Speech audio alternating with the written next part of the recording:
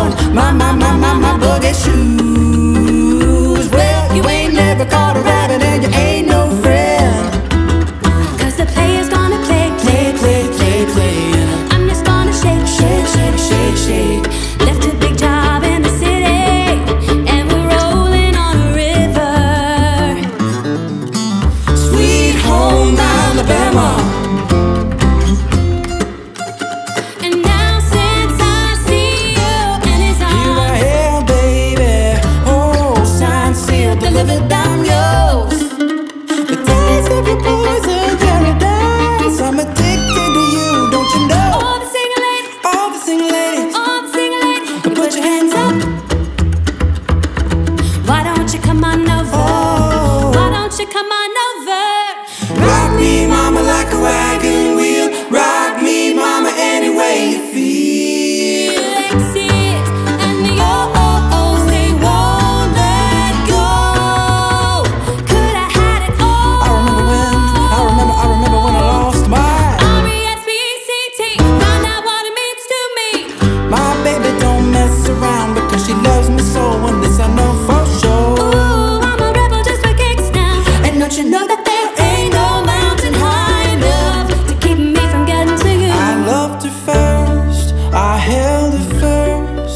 And I think to myself, what a wonderful.